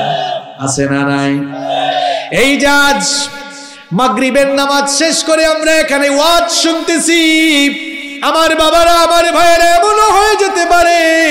আগামীকাল বাদ মাগরিব, আমার জানাজান নামাজ হয়ে যেতে পারে। আগামীকাল হয়তো বাদ মাগরিব, জানাজা হওয়া দূরের কথা। আগামীকাল সকালে আপনার জানাজার নামাজ হতে পারে। আগামীকাল রাত আপনার কবরে প্রথম রাত হয়ে যেতে পারে কিনা বলেন। কত মানুষের জানাজায় আপনি গিয়েছেন, হয়তোবা আগামীকাল মানুষ আপনার জানাজায় এসে সামিল হতে পারে। কত জানাজার পড়েছি নামাজ দিয়েছি কত দাফন। কালকে আপনার জানাজা হইতে পারে না? পারে কিনা বলেন? কত জানাজার পড়েছি নামাজ দিয়েছি কত দাফন। কোথায় যেন আছে আমার তৈরি সাদ কাফন, জানাজার পড়েছি নামাজ দিয়েছি কত দাফন, কত জানাজার পড়েছি নামাজ দিয়েছি কত দাফন। আমার তরি বাধায় আছে কোন শেখে আঘাটে কোন মসজিদে এলান হবে সোয়া বিশেষ খাটে আমার তরি বাধায় আছে কোন শেখে আঘাটে কোন মসজিদে এলান হবে সোয়া বিশেষ খাটে। কখন কোথায় করবে দাফন? আমাকে সজন। জানাজার পড়েছি নামাজ। দিয়েছি কত দাফন। কত জানা জানাজার পড়েছি নামাজ। দিয়েছি কত দাফন। কোন বাতাসে কোথায় যেন দুলছে বাঁশের ঝাড়। কোন সে মাটি কোনখানে ডাকে রে বারবার। কোন বাতাসে কোথায় যেন দুলছে বাঁশের ঝাড়।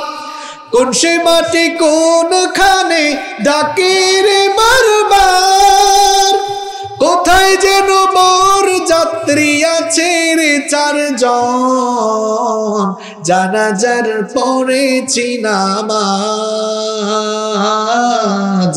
দিয়েছি কত দাফন, কত জানাজার পড়েছি নামাজ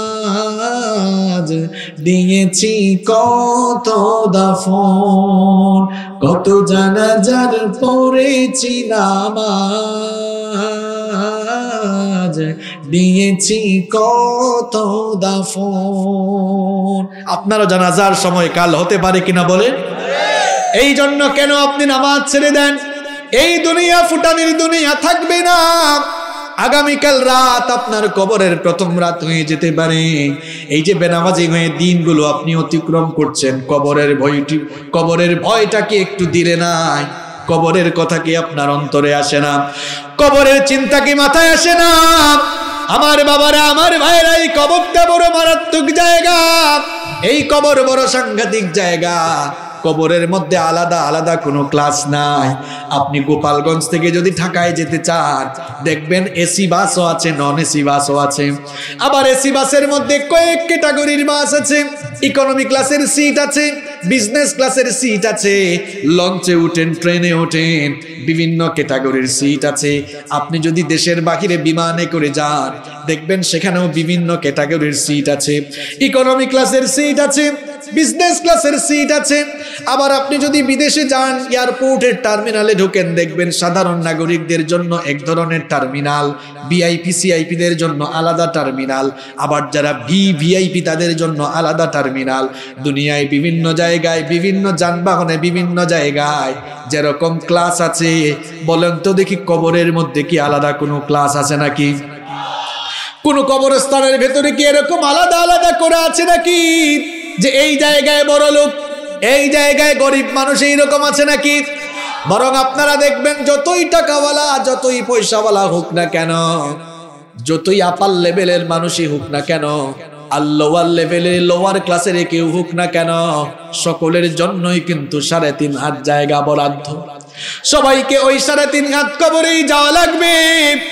আমরা অনেকে রাতের বেলা ঘুমানোর সময় বিছানা ঝাড়ু দিয়ে বিছানা পরিষ্কার করে খুব সুন্দর সুন্দর বিছানার চাদর বিছিয়ে নরম নরম বিছানায় ঘুমাই। কবরে কিন্তু নরম কোনো বিছানা নাই। কবর বড় সাংঘাতিক জায়গা, নরম কোনো বিছানা থাকবে না। ওখানের মধ্যে কবর হলো সাংঘাতিক জায়গা, কবরের মধ্যে মাটির বিছানা থাকবে। চতুর্দিকে পোকামাকড়, এই যে শীতের দিনে কবর খুললে ডানে বামে এবং নিচ থেকে শুধু পোকামাকড় উঠে পোকামাকড় বের হয়। আবার যখন বর্ষাকালে কবর খনন করা হয়, সবাই বলেন তো কবরের নিচ থেকে কি উঠে? কত নরম নরম বিছানায় ঘুমিয়েছেন। বর্ষাকালে মারা গেলে কিন্তু ওই পানির মধ্যেই মানুষ শোয়া রেখে চলে আসবে। আপনি যখন চলে যাবেন, যেই ছেলে মেয়েদের জন্য, যেই সন্তানদের জন্য এত কিছু করেছেন, তারাই তারা ঘোরা করবে তাড়াতাড়ি জানাজা দেওয়ার জন্য। তাড়াতাড়ি ঘর থেকে বের করে দাফন দেওয়ার জন্য ঘোরা করবে। তারা যখন আপনাকে কবরে রেখে চলে আসবে, কবরটা হলো এমন জায়গা, মাটির তৈরি বিছানায় আপনাকে শোয়ায় আসবে। কবরে রাখার পর চব্বিশ ঘণ্টা যেতে না যেতেই এই পোকামাকড়গুলো আপনার নাকের ভিতর দিয়ে ঢুকে মলদার পায়খানার রাস্তা দিয়ে বের হয়ে যাবে। এমন অবস্থা আপনার শুরু হয়ে যাবে। মাঝে মাঝে মানুষ মারা গেলে কবরে নেমে লাশটা শোয়ায়েন। আল্লাহর ভয় হয়তো অন্তরে পয়দা হতে পারে। কবরটা এমনি বড় সংকীর্ণ জায়গা। মাত্র সাড়ে তিন হাত জায়গা। মাত্র সাড়ে তিন হাত জায়গা। এই কবরে শোয়ানোর উপরে যখন উপরে বাঁশের ছাউনি দেওয়া হয় এরপরে আস্তে আস্তে করে যখন মাটি দেওয়া হয়, কবরের অন্ধকার তখন বাড়তে থাকে নাকি কমতে থাকে। এত মারাত্মক জায়গায় যুবক ভাইরা ভালো করে শোনো। এই কবর হলো এমন জায়গা, কোনো বাতি নাই, সাথী নাই, কোনো আলো নাই। এই যে নামাজটা আমরা ছেড়ে দিচ্ছি, কবরে যাওয়ার পরে কবরে কিন্তু ভালো আচরণ করবে না। এই মাটির উপরে আমরা এখন বসে আছি। আজান হওয়ার পরে আমরা এই মাটির উপরে বিচরণ করে মসজিদে না গিয়ে, নামাজে না গিয়ে, এই মাটির উপরে আমরা দম্ব করে চলাফেরা করি। মরার পরে মাটি কিন্তু মজা বুঝাইয়া দিবে। সবাইকেই তো কবরে যাওয়া লাগবে। কি কারণে নামাজটা ছেড়ে দেন?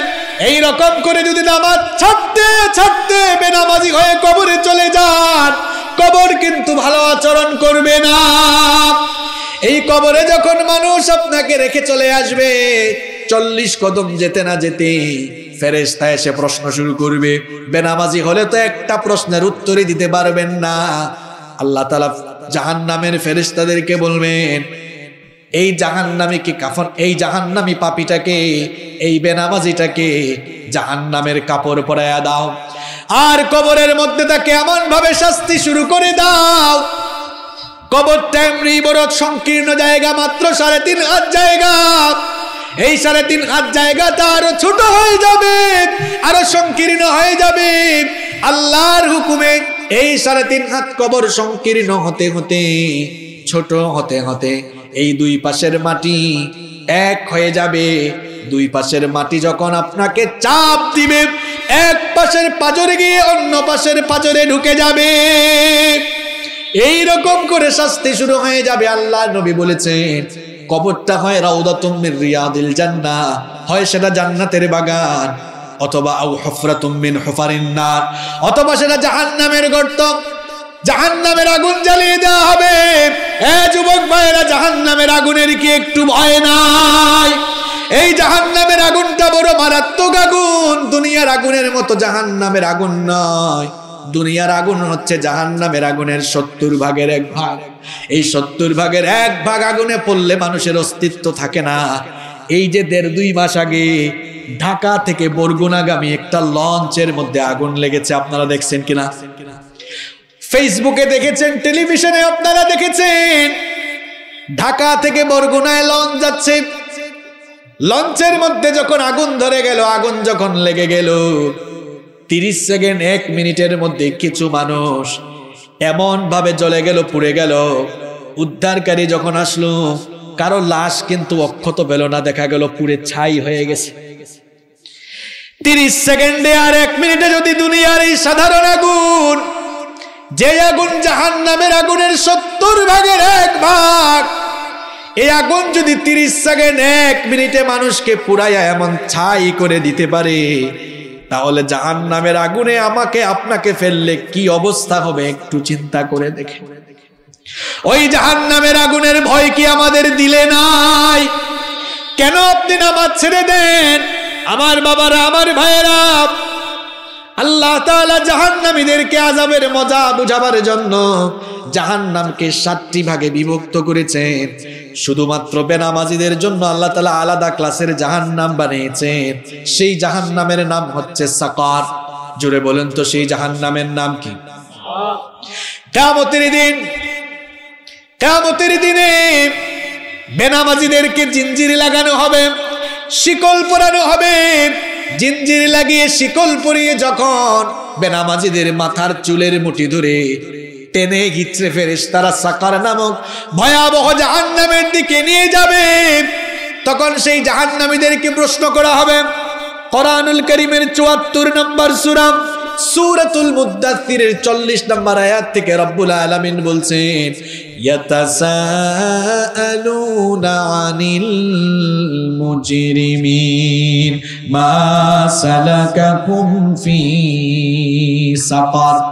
এদেরকে জিজ্ঞেস করা হবে, এ কপাল পুরারা, দুর্ভাগারা, কি কারণে তোমরা সাকার নামক ভয়াবহ জাহান্নামে এসেছ? এই লোকগুলো তখন বলবে অনেকগুলো কারণেই তো এই ভয়াবহ জায়গায় এসেছি তার মধ্যে নাম্বার ওয়ান এক নাম্বার কারণ হলো قالوا لم نك من المصلين আমরা মুসল্লি ছিলাম না আমরা নামাজি ছিলাম না এই কথা বলার পর ফেরেশতারা খুব আদর যত্ন শুরু করবে তাই না হ্যাঁ আল্লাহ বলবেন রে ধর জিঞ্জির লাগা শিকল পরা আর শিকলটা কেমন হবে?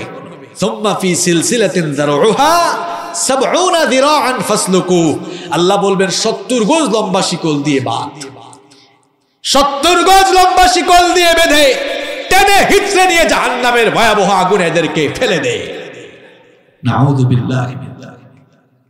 আমার বাবারা, আমার ভাইয়েরা, এই জাহান্নামের আগুনে পুরার কোনো সহ্য ক্ষমতা আমাদের আছে? আসতে বলবেন না। আছে? এই জাহান নামের আগুন থেকে বাঁচতে চাই আজান হলে নামাজে যাবেন তো? নাকি ছেড়ে দিবেন নামাজ? জুমার নামাজে দেখি মানুষ হয় না। আসরের নামাজে? জুমার নামাজে দেখি মসজিদে জায়গা হয় না। আসরের নামাজে দেখা যায় মসজিদ হাহাকার করে। এটা কি ভালো লক্ষণ? আমাদের দেশে নামাজি পাওয়া যায় মোট পাঁচ তরিকার। কয় তরিকার? আর একটু জোরে বলেন। পাঁচ তরিকার নামাজ। এক নাম্বার সাপ্তাহিক নামাজ। গোটা সপ্তাহে তারে নামাজে পাওয়া যায় না। শুধুমাত্র জুমার দিনে তারা মসজিদে আসে। এইরকম জুমার নামাজে কি মুকসুদপুরে আছে সপ্তাহে তার খবর নাই। আচ্ছা বলেন তো দেখি, একদিনে নামাজ মোট কয়বার?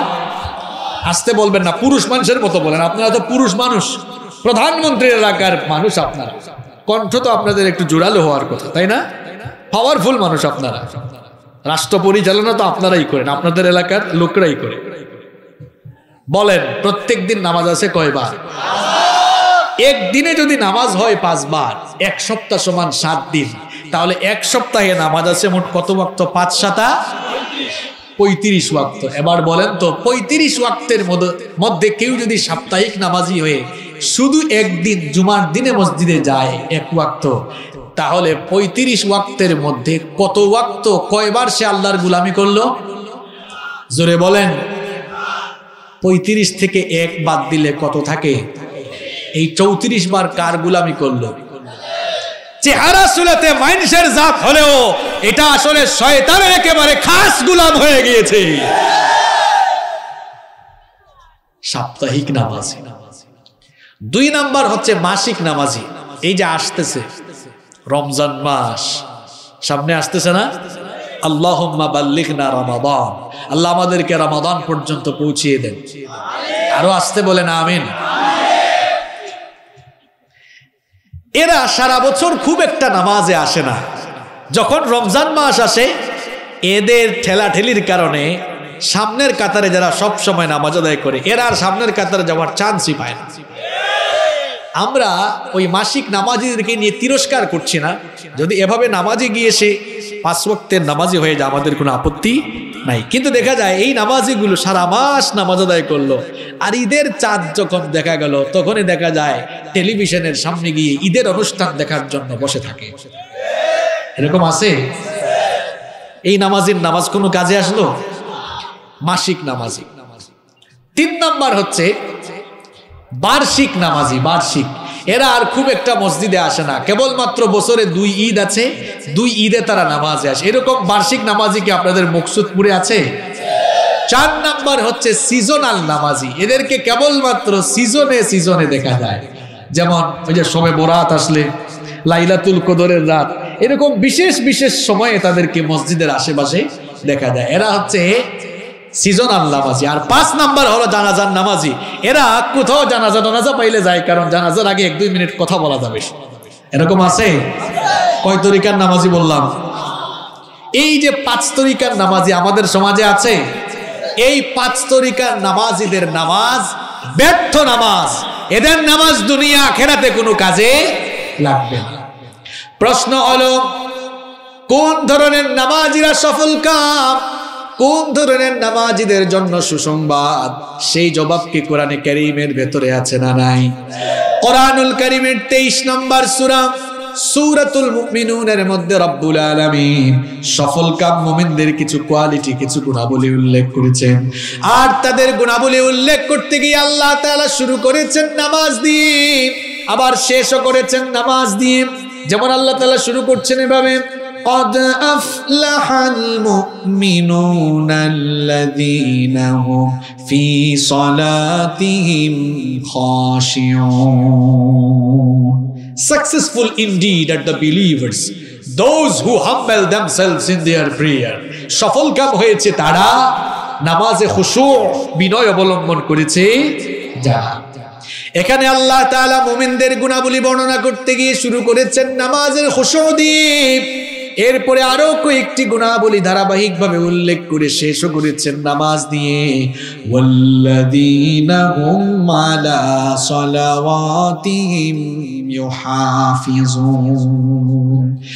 এরপরে আল্লাহ শেষ করেছেন এভাবে, আর যারা পাঁচ ওয়াক্তের নামাজের হেফাজত করে অর্থাৎ যারা পাঁচ ওয়াক্তের নামাজ ঠিক মতো আদায় করে আর সেই নামাজকে যারা খুশুমের সঙ্গে খুদুমের সঙ্গে যথাযথভাবে আদায় করে এদের ব্যাপারে আল্লাহ এবার সুসংবাদ দিয়ে খুব সুন্দর করে বললেন أولئك هم الوارثون الذين يرثون الفردوس هم فيها خالدون আল্লাহ তাআলা বলছেন সেই পাঁচ ওয়াক্তের খুশুয়ের সঙ্গে পাঁচ ওয়াক্তের নামাজ আদায়কারী লোকদের জন্য, মোমেনদের জন্য জান্নাতুল ফেরদাউসের সুসংবাদ।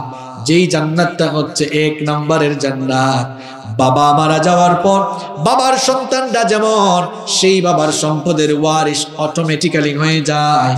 ঠিক তেমনি ভাবে পাঁচ ওয়াক্তের নামাজি বান্দারা যখন দুনিয়া থেকে চলে যায় তারাও ঠিক তেমনি ভাবে অটোমেটিক্যালি আল্লাহর জান্নাতুল ফেরদাউসের ওয়ারিশ হয়ে যায়। পড়লে নামাজ, রাখলে রোজা, আল্লাহ রাসুল পাবে সোজা।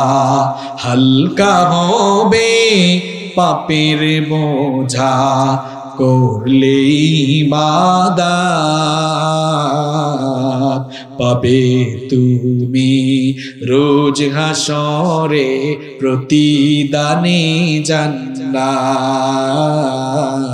প্রতিদানে জান্নাত প্রতিদানে জান্নাত। আল্লাহু আকবার!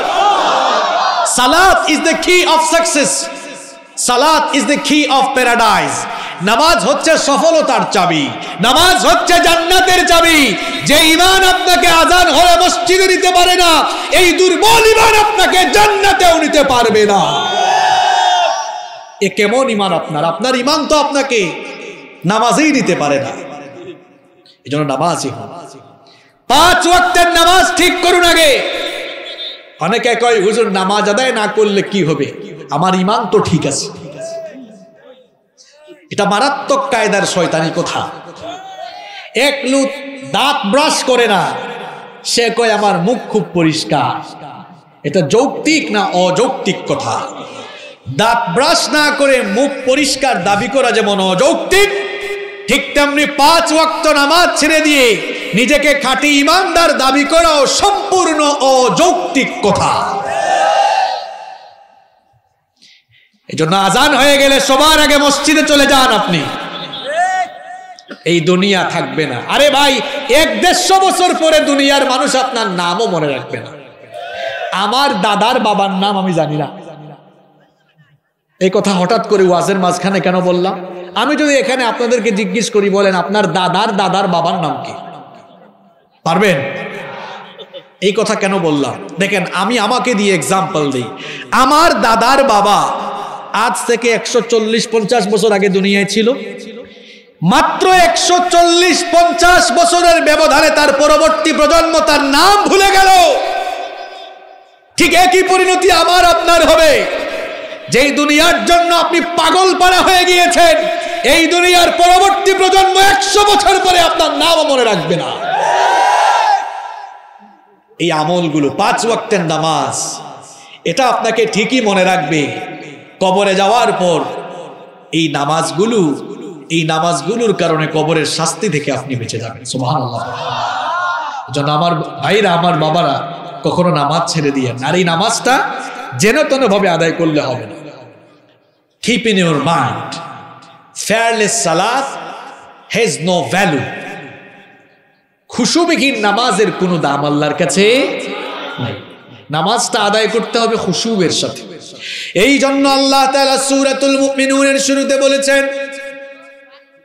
قد أفلح المؤمنون الذين هم في صلاتهم خاشعون Successful indeed are the believers, those who humble themselves in their prayer.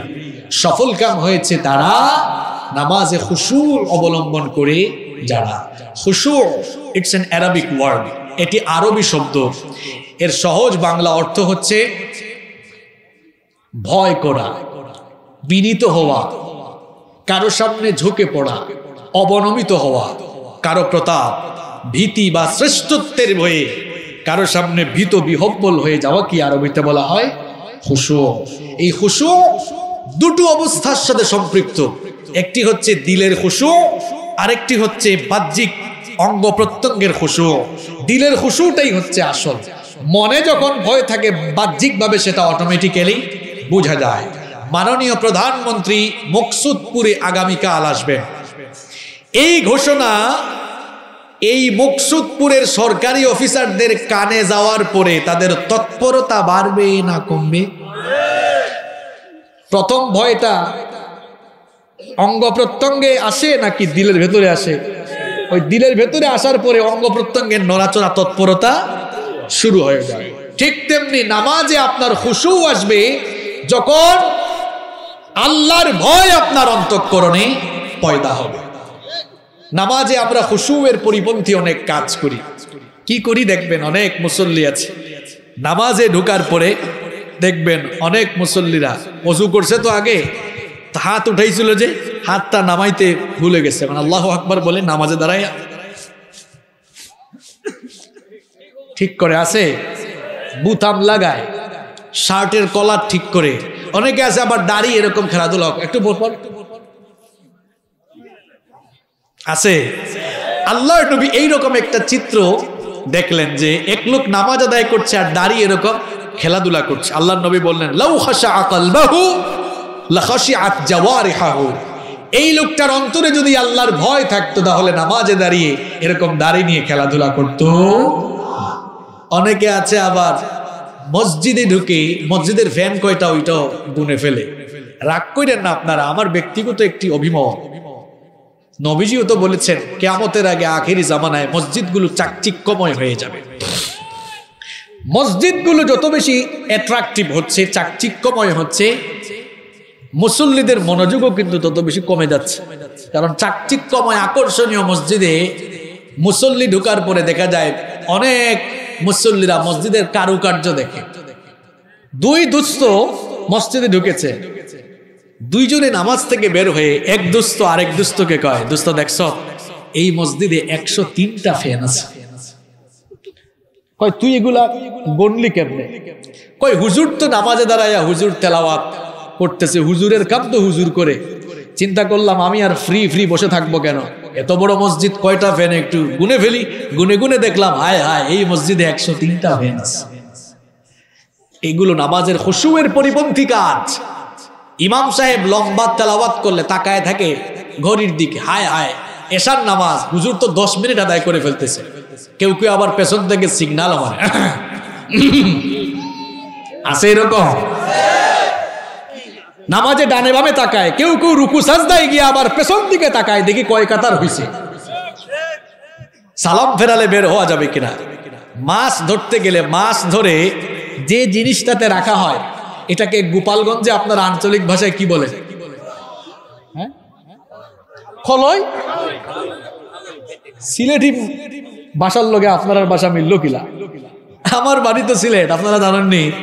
তা আমরা সিলেটে হয়, এটারে খলই আপনারাও হন, খলই নি নাকি তা? খালই। ওইসে একই কথা, খলই আর খালই একটা আকারর বেশ কম আর কি অসুবিধা নাই। মোটামুটি মিল আছে না নেই? আচ্ছা আপনারা বলেন খালই, আমরা বলি খলই। দেখবেন মাছ ধরে খালইয়ের মধ্যে রাখলে মাছ কি করে? বলেন না। নড়াচড়া করে। পানির মাছ খালইয়ে রাখলে মাছ যেমন পানিতে যাওয়ার জন্য ছটফট করে মুনাফিকগুলো মসজিদে ঢুকলে ঠিক তেমন ভাবে মসজিদ থেকে বের হওয়ার জন্য ছটফট করে। পানির মাছ পানিতে যেমন নিরাপদ, মোমেন বান্দা মসজিদে ঢুকলে তার কল, তার হৃদয়টাও প্রশান্ত হয়ে নিরাপদ হয়ে যায়। কিছু মানুষ আছে মসজিদে ঢুকলেই বের হওয়ার জন্য পাগল হয়ে যায়, আছে এরকম? তাড়াহুড়া করে। আমাদের নামাজে খুশো নাই কেন? ওয়াই হোয়াটস দ্য রিজন কি কারণে আমাদের নামাজে খুশো নেই এর কারণ হচ্ছে নামাজ আমরা বুঝি না। নামাজের আগাগুড়া আমরা বুঝি না। কিপ ইন ইউর মাইন্ড সালাত is a conversation between almighty Allah and the slave নামাজ হচ্ছে আল্লাহ আর বান্দার কথা বলার জায়গা। সুবহান আল্লাহ এই ফিলিংস যদি আপনার হৃদয়ে আসতো তাহলে নামাজের বাইরে কখনো কনসেন্ট্রেশন যেত না। নামাজে যখন আমরা দাঁড়াই, আল্লাহ তাআলা কেমনে আপনার সঙ্গে কথা বলে নেবার শোনেন হাদিসে কুদসির মধ্যে এসেছে। আল্লাহ তাআলা বলেছেন, কাসসামতু সলাতু বাইনি ওয়া বাইনা আবদি নিসফাইন। আল্লাহ তাআলা বলেছেন, নামাজকে আমি আল্লাহ আমার আমার বান্দার মধ্যে দুই ভাগ করে নিয়েছি। নামাজের এক ভাগ হলো আমার জন্য, আরেক ভাগ হলো আমার বান্দার জন্য। আমরা যখন নামাজে দাঁড়াই, আল্লাহ তাআলা শুরু থেকে শেষ পর্যন্ত আমাদের সঙ্গে কথা বলেন, কিন্তু আমরা তা বুঝি না। যদি আমরা বুঝতে পারতাম, তাহলে আমাদের মনোযোগ কখনো অন্যদিকে যেত না। আমরা যখন আল্লাহ আকবার বলে নামাজ শুরু করি, যেই সূরা দিয়ে আমাদের নামাজ শুরু হয়, সেই সূরাটার নাম হচ্ছে সূরাতুল সূরাতুল ফাতিহা। যখন আমরা এই সূরাটা দিয়ে নামাজ শুরু করে দেই, আল্লাহ তাআলা কেমনে কথা বলেন শুনে? আমরা যখন নামাজ শুরু করে সূরাতুল ফাতিহার প্রথম আয়াত তেলাওয়াত করি, আলহামদুলিল্লাহি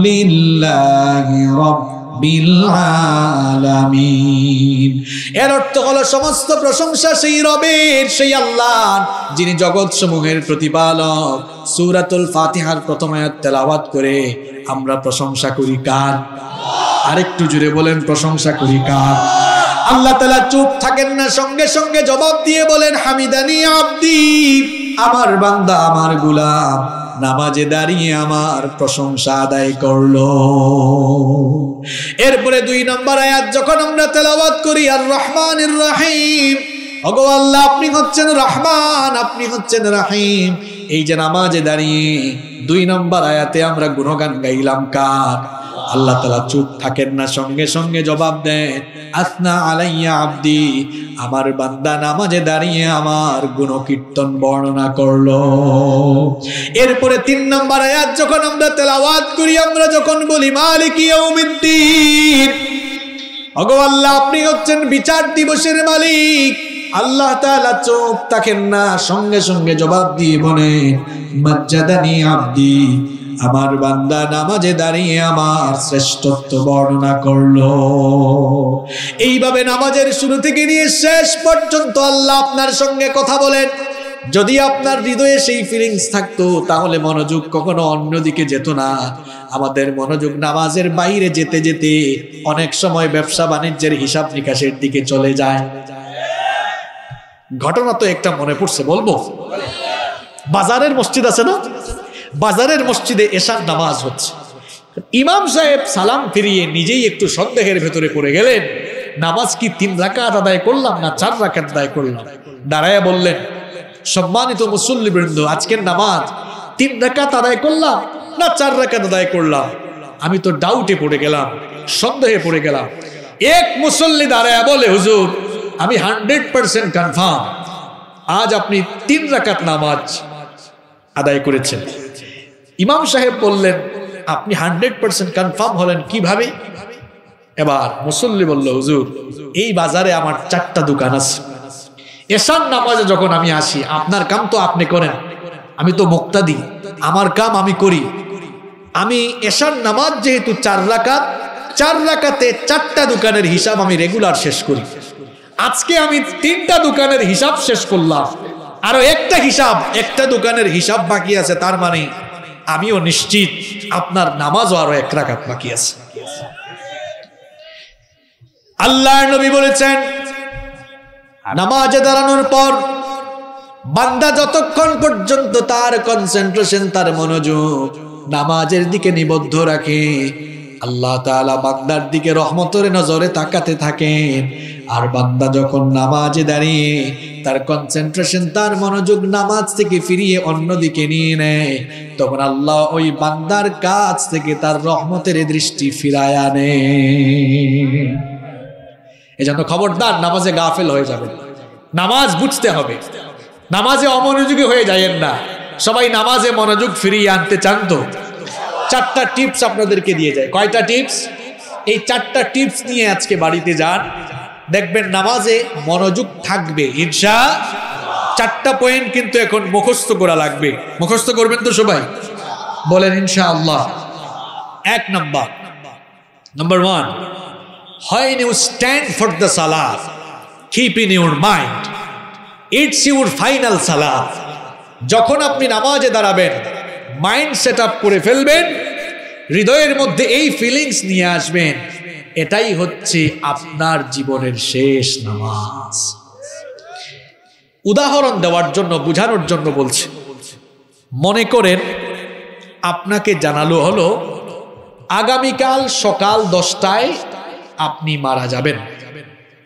সকাল দশটায় মারা যাবেন, এটা আপনাকে জানানো হলো।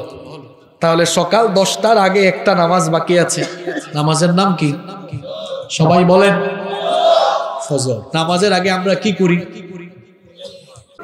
অন্য দিনের রুকু সাজদায় চোখ দিয়ে পানি না আসলেও দেখা যাবে, এই ফজরের নামাজের রুকু সাজদায় পানি আসবে। কারণ হৃদয়ে এই ফিলিংস চলে এসেছে, এটা জীবনে। এই জন্য আল্লাহ নবী বলেছেন, ইদা কুমতাফি সলাতিকা ফাসল্লি সলাতাম মুওয়াদ্দা। যখনই নামাজে দাঁড়াও, এই ফিলিংসটা নিয়ে আসো। এটাই হচ্ছে তোমার জীবনের শেষ নামাজ। বলেন, এই ফিলিংস হৃদয়ে থাকলে মনোযোগ কনসেন্ট্রেশন নামাজের বাহিরে যাবে? এক নম্বর পয়েন্ট মনে থাকবে, যে নামাজেই দাঁড়াবেন, যে ওয়াক্তের যে নামাজে দাঁড়াবেন, ওই নামাজকে মনে করবেন, এটা জীবনের শেষ নামাজ। দুই নাম্বার যখন আপনি নামাজে দাঁড়াবেন, মনে করবেন, আল্লাহ, আর আমার মাঝখানে পর্দা নাই। আমার রবের সঙ্গে আমি সরাসরি কথা বলছি। সুবাহ আল্লাহ তাহলে মনোযোগ আর অন্যদিকে যাবে না। তিন নাম্বার, রুকু, সাজদা, তাদিলে আরকান। তাদিলে আরকান তো নামাজে ওয়াজিব। এগুলো ধীরে স্থিরভাবে কমপ্লিট করবেন। অনেক নামাজে আছে। এরা নামাজে যখন রুকু, সাজদা দেয়, দেখলে মনে হয় সে নামাজ আদায় করছে না, রীতিমতো ফিজিক্যাল এক্সারসাইজ করছে। আচ্ছা মুরগির বাচ্চাকে যে চালের দানা দেওয়া হয়, এটাকে গোপালগঞ্জে আঞ্চলিক ভাষায় আপনারা কি বলেন? কুদ। আমরা সিলেট হয় কুদি। আর আপনারা বলেন কুদ। আচ্ছা আপনারা দেখেছেন কিনা, মোরগের বাচ্চাকে কুদ দিলে সে কেমনে খায় দেখছেন? ঠুকর ঠুকর করে খায়, তাই না? ঠুক ঠুক করে আওয়াজ হয়। কিছু মুসল্লির নামাজ দেখবেন, এরাও ওই মোরগের বাচ্চার মতো ঠুকর ঠুকর করে রুকু সেজদা মারে। আল্লাহর নবী বলেছেন, আসওয়া উসারিকা আল্লাযী ইয়াসরিকু মিন সালাতিহি। সবচাইতে নিকৃষ্ট চোর হলো যে নামাজের মধ্যে চুরি করে। সাহাবায়ে কেরাম জিজ্ঞেস করলেন, ওয়া কাইফা ইয়াসরিক সালাতাহু ইয়া রাসূলুল্লাহ? পড়েন সাল্লাল্লাহু আলাইহি ওয়াসাল্লাম। আল্লাহর রাসূল, নামাজ আবার চুরি করে কেমনে? আল্লাহ নবী বললেন, কিছু মুসল্লি আছে দেখবা, নামাজে দাঁড়ালে ঠিক মতো রুকু দেয় না ঠিক মতো সাজদা দেয় না, এরাই হচ্ছে নামাজ এই জন্য নামাজে তাড়াহুড়া করবেন না। যখন আপনি রুকুতে যাবেন, পিঠটাকে সুদা করে দেন পিঠটাকে সুদা করে দিয়ে রুকুর তাসবিগুলো ধীরে স্থির ভাবে সম্পন্ন করেন তাড়াহুড়া করবেন না।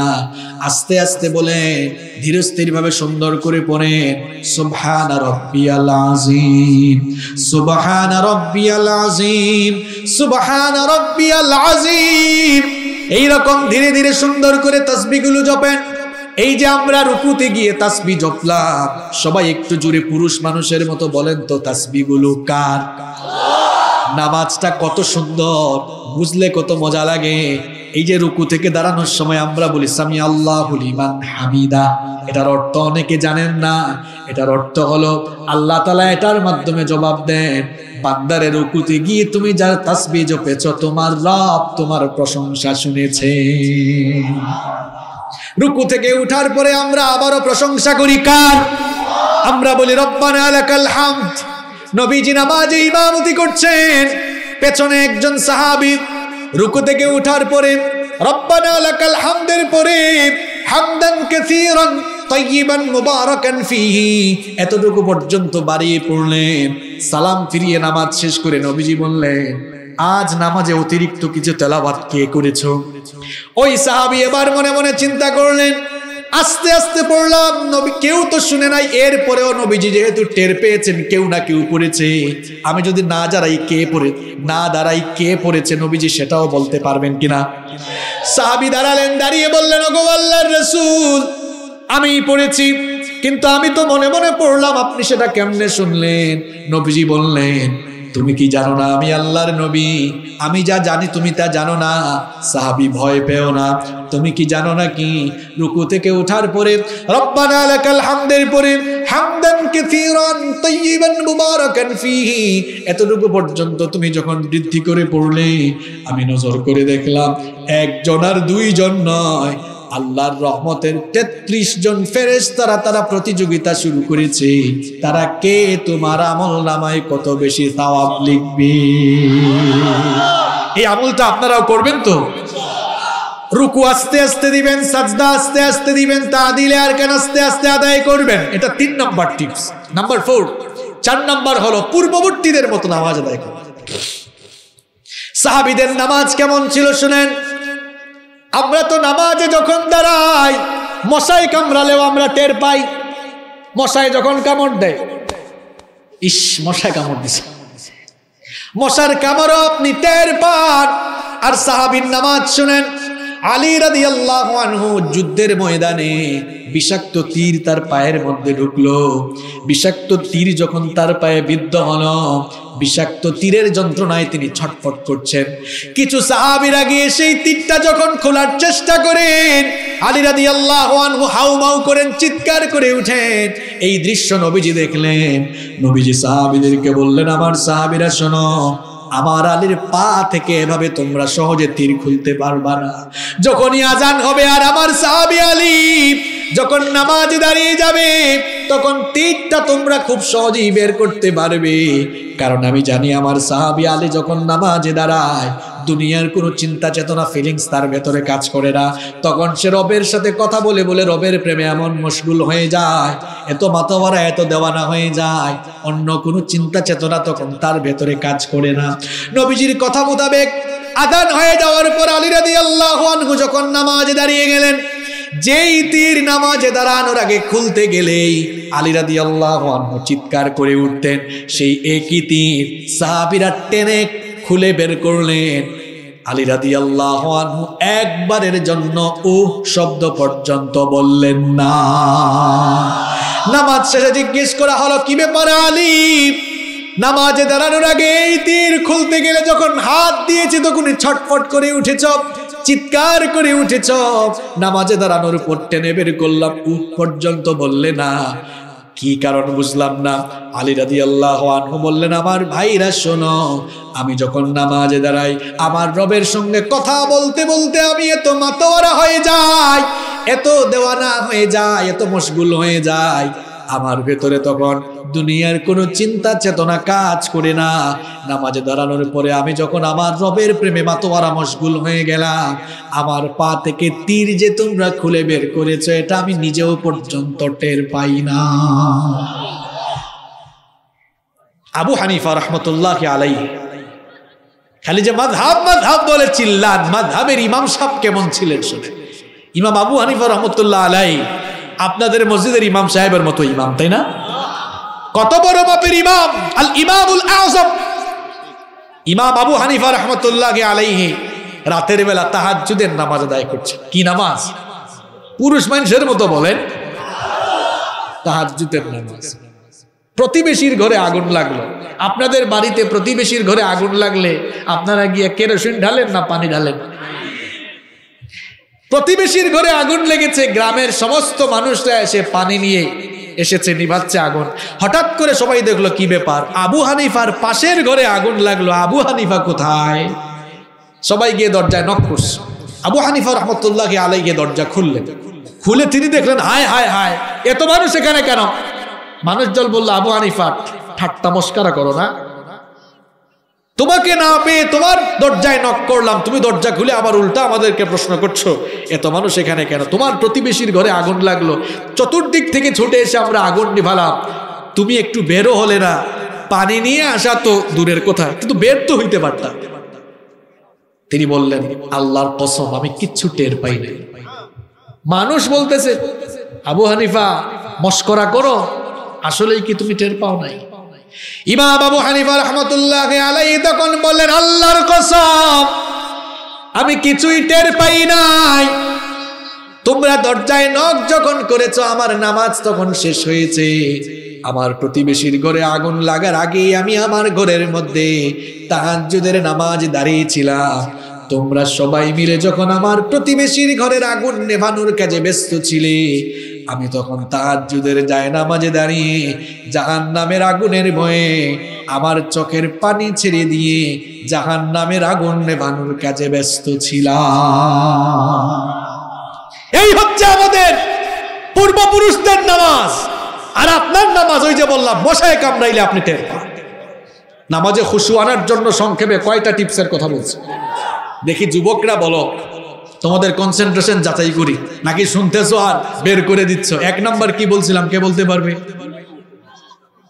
হ্যাঁ নামাজকে শেষ নামাজ মনে করা। দুই নাম্বার, নামাজে দাঁড়ালে এই ফিলিংস নিয়ে আসা। কথা বলছি আমি কার সাথে?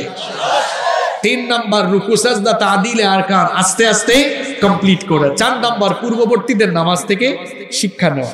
সাতটা উনষাট বাজে, আটটায় শেষ হবে। এক মিনিটে আমি যদি না বাসি।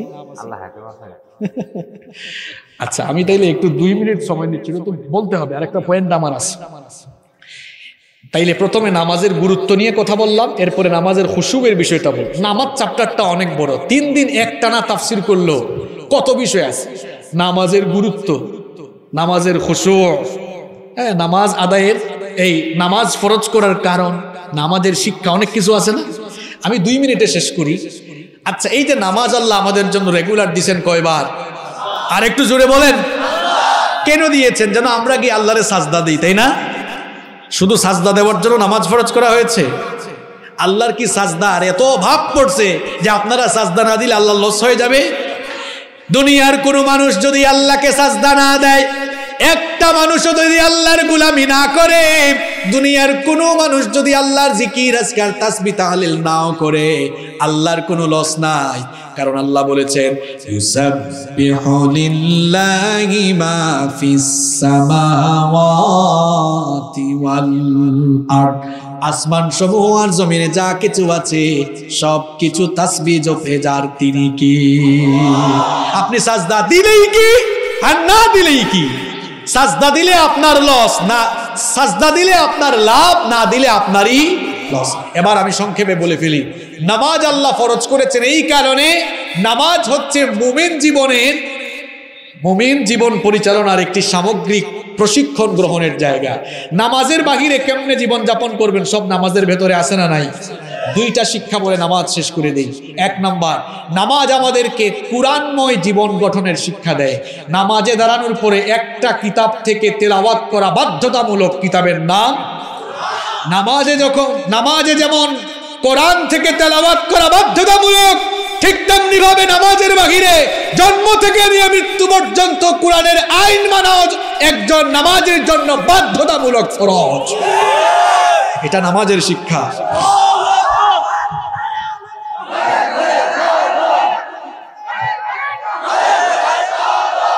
বসেন বসেন। আমাকে একটু শেষ করতে দেন। আমি সংক্ষেপে বলছি, তাইলে এক নাম্বার শিক্ষা মনে থাকবে? শুধু সাজদা দেওয়ার জন্য নামাজ আসে নাই। শুধু সাজদা দেওয়ার জন্য নামাজ আসে নাই।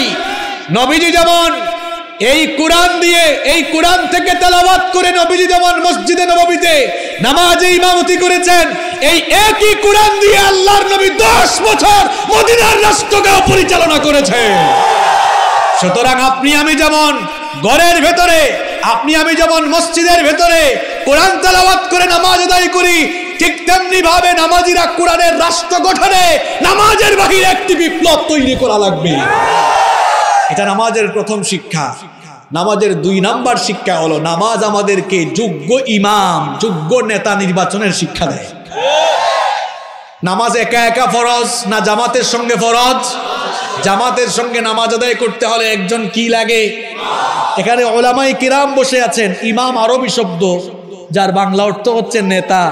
ইংরেজিতে বলা হয় লিডার।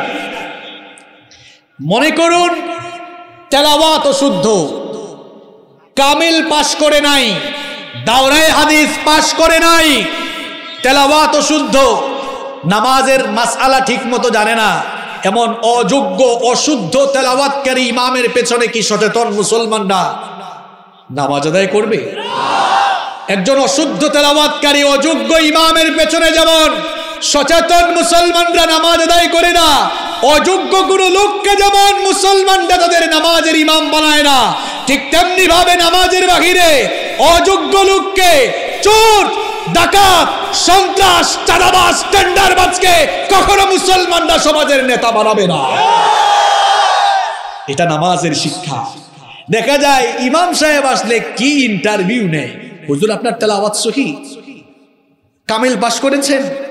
দাওরায় হাদিস পাশ করেছেন?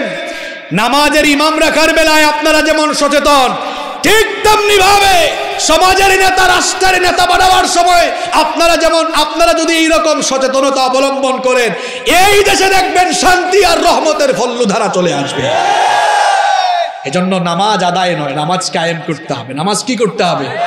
সাল্লাত কায়েম করো সাল্লাত কায়েম করো। হবে সম্মানী তুমি, হবে জান্নাতি তুমি। দিবে কাল হাসরে শীতল ছায়া, আর সে আজিম। রব্বিয়াল আলা, রব্বিয়াল আজিম। রব্বিয়াল যত আলোচনা হয়েছে, আল্লাহ কবুল করেন। পাঁচ ওয়াক্ত নামাজ আজ থেকে কে কে ছাড়বেন? হাত তুলেন। নামাজ ছাড়বেন আপনারা? এখন এশার আজান হবে, এশার নামাজটা পড়বেন তো সবাই। রবিউল ভাই খুব নাচর বান্দা মানুষ। পাঁচ মিনিট আগে থেকেই ঠেলাইতেছে, আপনি বলে ফেলেন বলে ফেলেন, আগামী বছর আসবেন। তা আমি বললাম, আমি যদি না বাঁচি, আসব কেমন? আল্লাহ হায়াতে বাঁচিয়ে রাখলে আমি আগামী বছর আসব ইনশাআল্লাহ।